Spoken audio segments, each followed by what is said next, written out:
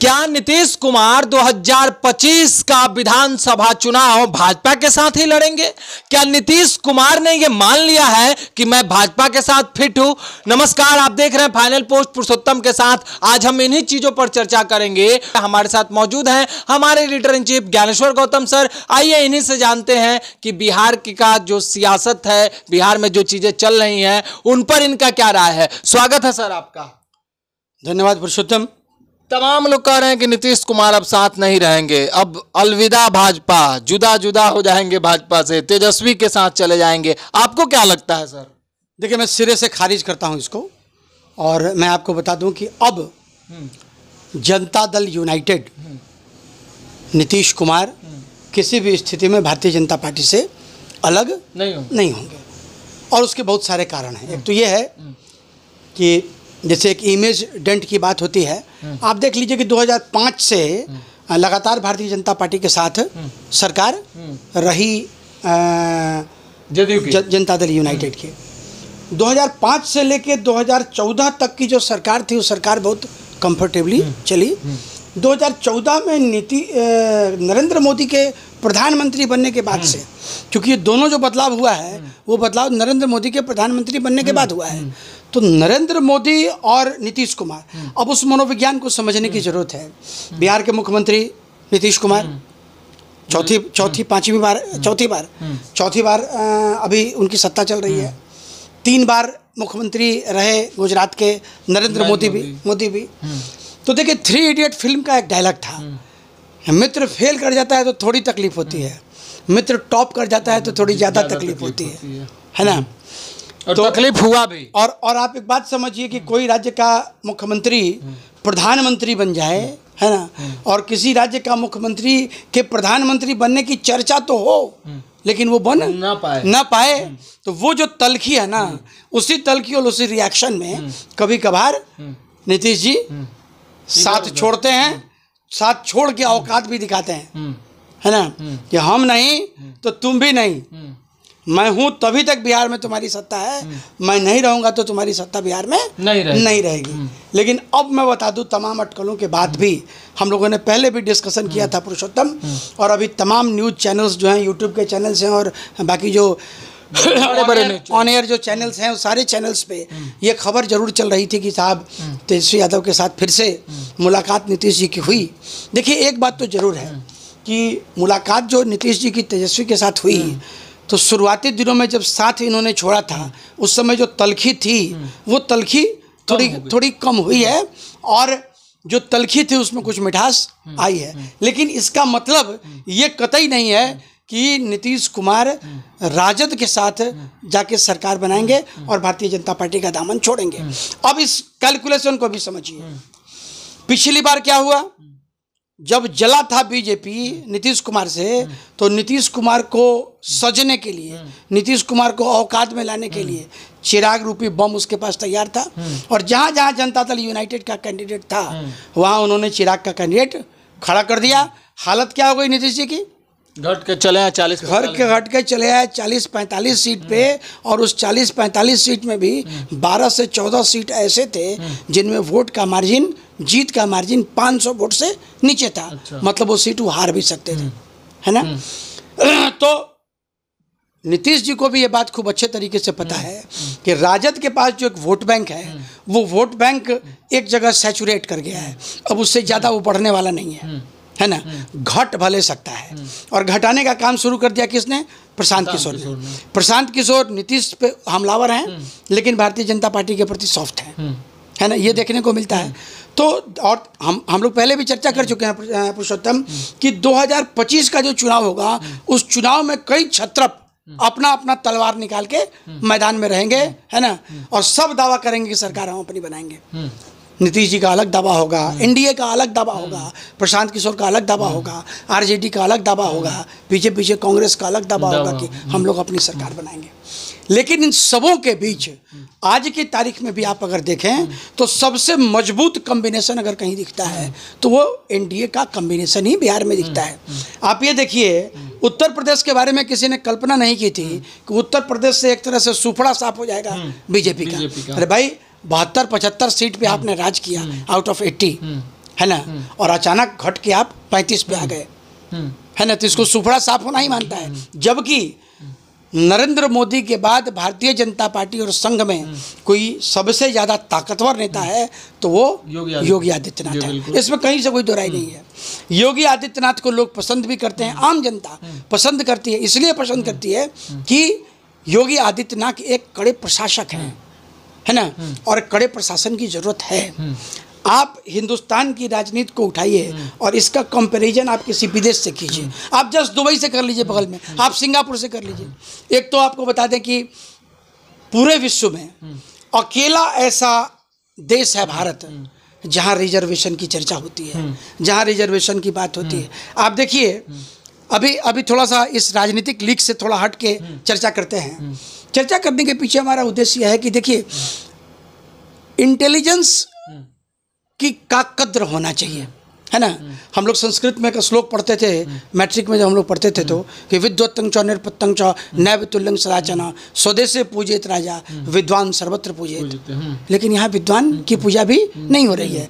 आप ये देखिए नीट ऑल इंडिया लेवल पे कंपटीशन है. क्लैट ऑल इंडिया लेवल पे कंपटीशन है. जी ऑल इंडिया लेवल पे कंपटीशन है. और कंपटीशन के बाद उनकी स्थिति क्या होती है? कि जिन्होंने 96 परसेंट मार्क्स अचीव किया उनका नामांकन नहीं होता है और जिनको 30 परसेंट आया उनका नामांकन हो जाता है। हो जाता है। तो उस बच्चे का फ्रस्ट्रेशन कहाँ गया? आप ये समझिए कि उस बच्चे का फ्रस्ट्रेशन लेवल कहाँ है। सरकार को इन चीज़ों पर ध्यान रखना चाहिए।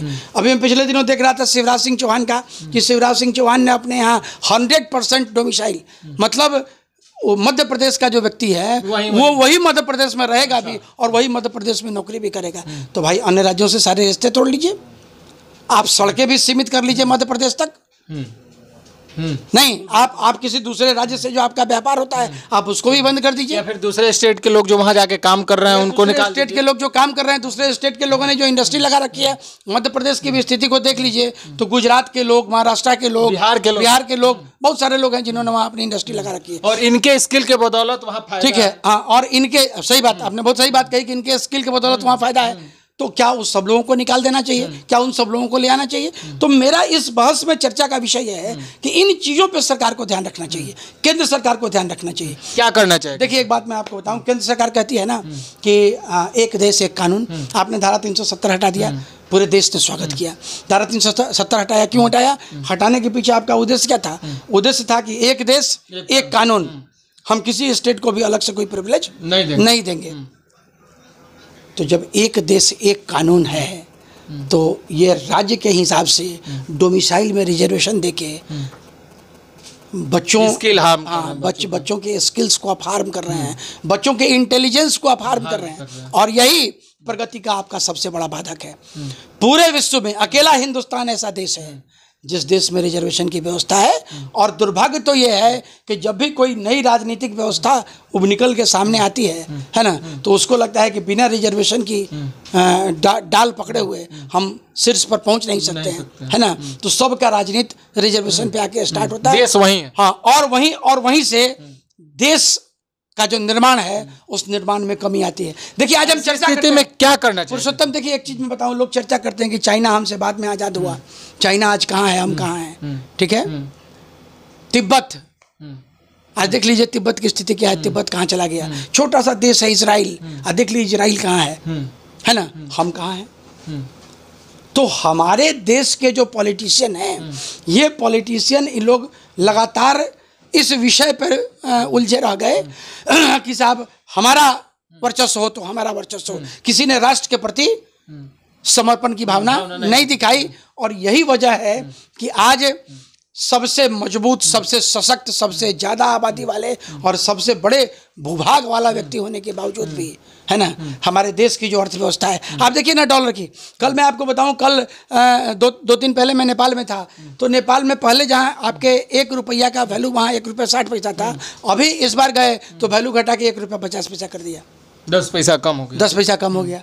जबकि डॉलर के हिसाब से जब आप देखेंगे तो पॉइंट टू फाइव परसेंट। मैंने पॉइंट टू फाइव पॉइंट पच्चीस एक रुपये का भी पॉइंट टू फाइव। इतना ही डिफरेंस उसमें है। लेकिन कहता है कि नहीं डेढ़ रुपये ज़्यादा नहीं देंगे। लेना है तो लीजिए नहीं लेना तो मत लीजिए। अब इस चीज़ को समझिए कि आज से दस साल पंद्रह साल पहले स्थिति ये थी कि इंडियन करेंसी के लिए वहाँ मार होता था। है ना? और इंडियन करेंसी का रेट होता था। एक रुपया एक रुपया साठ पैसा जो है वो एक सौ पहले एक सौ बासठ था। है ना? कभी कभी तो आपको बता दें कि एक सौ सत्तर तक चला जाता था। जब डिमांड वहाँ इंडियन करेंसी की बढ़ जाती थी। लेकिन आज की स्थिति बदल गई है। है ना? हमारा हम डॉलर के प्रति रुपया जो है वो रुपया कमज़ोर हो रहा है। नतीजा है कि नेपाल जैसा देश वो भी देश हमको आँख दिखा रहा है। डेवलप कर रहा है और आँख तो दिखाई रहा है। आँख दिखा रहा है। आप ये समझिए आप पिछले दिनों यही घोड़ासान की घटना को देख लीजिए। एक पुलिस वाले को एक पुलिस वाला किसी को किसी अपराधी को पकड़ने गया था। उसी को ही पकड़ है ना? और उसी को पकड़ के वहाँ के पुलिस ने बैठा लिया। और बाद में आपको बता दें कि राज्य के स्तर पे उसमें डीजीपी को पहल करनी पड़ी और तब जाके उसको छोड़ा गया। छोड़ा गया। विदेश नीति जो है देश की, वो विदेश नीति खैर उसकी चर्चा हम लोग बाद में करेंगे। लेकिन अभी अभी जो हम बता रहे थे कि ये जो रिजर्वेशन की बातें हैं, ये जो रिजर्वेशन की व्यवस्था है, इस व्यवस्था को सरकार को निश्चित तौर पे बदलने की ज़रूरत है। और अगर आप, जो हमारे समाज का जो भी कमज़ोर वर्ग है, जो भी कमज़ोर वर्ग है, अगर कमज़ोर वर्ग को आप लाभ देना चाहते हैं तो उसके लिए आप स्पेशल कोचिंग की व्यवस्था कीजिए। उनके टैलेंट को जितना ज़्यादा आप निखार सकते हैं उतना उसको निखारने की व्यवस्था कीजिए। ये जो डोमिसाइल का जो हिसाब और रिजर्वेशन का जो हिसाब है ये हिसाब बंद होना चाहिए। और हर स्टेट की है। मैं तो मैं तो धन्यवाद देना चाहूँगा अपने देश के अपने राज्य के मुख्यमंत्री को नीतीश कुमार को कि नीतीश कुमार ने अपने यहाँ कोई डोमिसाइल नीति नहीं रखी है।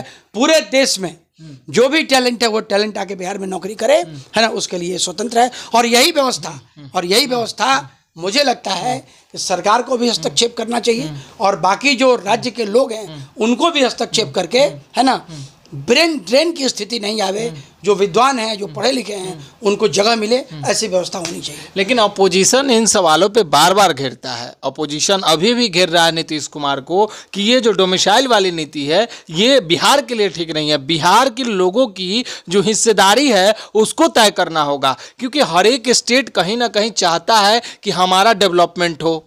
हमारे स्टेट के लोग आगे बढ़ें और इंडिविजुअल जाइएगा पर्सनल जाइएगा तो एक व्यक्ति तो खुद चाहेगा ना कि हमारे स्टेट में हमारी हिस्सेदारी तय हो। तो इन चीज़ों पे अपोजिशन लगातार घिरता है। देखिए पुरुषोत्तम आपका कहना बिल्कुल सही है।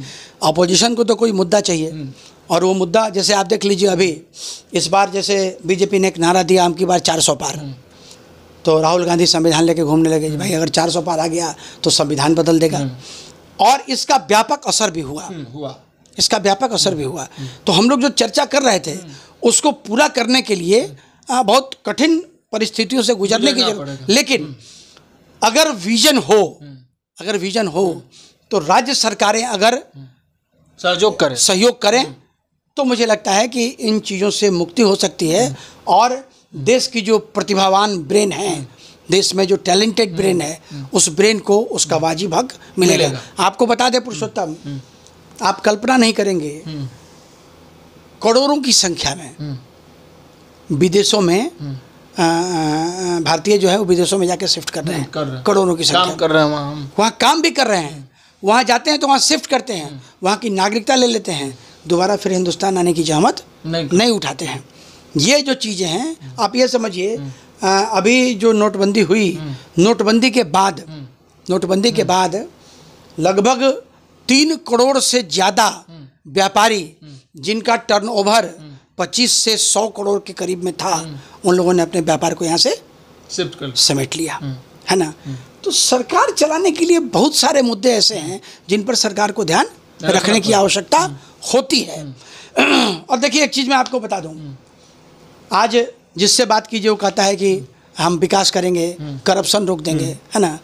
करप्शन रोकना इस देश में किसी के औकात के बाहर की बात है। किसी की औकात नहीं है। कि इस देश इस देश से नहीं कहीं से भी आप करप्शन को रोक दीजिए। आप नीतीश कुमार का 2005 का शासन देखिए। 2005 से बात तो रिजर्वेशन पे भी लागू होती है। हाँ। ये बात रिजर्वेशन पर भी लागू हो सकती है कि रिजर्वेशन देगा ही रिजर्वेशन खत्म नहीं किया जा सकता है। नहीं देखिए ऐसा नहीं है कि रिजर्वेशन खत्म नहीं किया सकता है। रिजर्वेशन खत्म किया जा सकता है। बशर्ते कि लोगों को विश्वास में लेके आप चलें। अरे बाबा साहब भीमराव अंबेडकर ने भी तो रिजर्वेशन की बात दस वर्षों के लिए कही थी। कि 10 वर्ष तक उन लोगों को एक बार रिजर्वेशन दीजिए एक चीज़ हो- दबे कुछ लें। एक चीज़ हो सकती है कि रिजर्वेशन ना दे करके पैरलर कुछ उस तरह की व्यवस्था की जाए जो समुदाय के बच्चे पिछड़े हैं जिनको हक नहीं मिल पा रहा है तो उनको एक पैरलर व्यवस्था दी जाए रिजर्वेशन ना दे करके उनके हमारे कहने का हाँ, मतलब। यही हमारे कहने का मतलब। या अगर आप रिजर्वेशन देना ही चाहते हैं तो उसका आधार जो जातिगत है उस जातिगत आधार की जगह पे उसका आप पॉवर्टी लाइन कीजिए। पॉवर्टी लाइन तय कर दीजिए आर्थिक आधार तय कर हाँ, आधार अब हमारे चिराग पासवान को रिजर्वेशन की क्या ज़रूरत है? बिल्कुल। हम्म, कोई ज़रूरत कोई ज़रूरत तो नहीं है? है ना?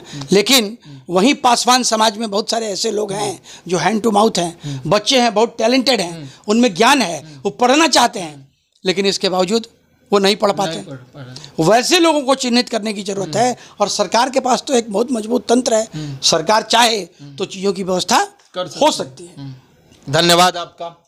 तो आप देख रहे थे कि बिहार की तो पॉलिटिक्स पे हम चर्चा कर ही रहे थे, लेकिन जो डोमिसाइल नीति है, उस पर भी चर्चा हम लोगों ने किया। और चर्चा से ये बात सामने निकल करके आई कि सरकार चाहे तो कर सकती है। देश के निर्माण में, भारत के विकास में अगर सरकार चाहे तो उन चीज़ों पे खड़ी उतर सकती है, एक फैसला ले सकती है और वो फैसला निश्चित ही देश का विकास करेगा। कैसा लगा हमारा एपिसोड? कमेंट में अपनी राय ज़रूर रखिएगा। बाकी बिहार पॉलिटिक्स पे तो हम रोज चर्चा करते ही हैं, इस पर भी अपना फीडबैक ज़रूर दीजिएगा। बने रहिए आप हमारे साथ, देखते रहिए फाइनल पोस्ट। बहुत बहुत धन्यवाद।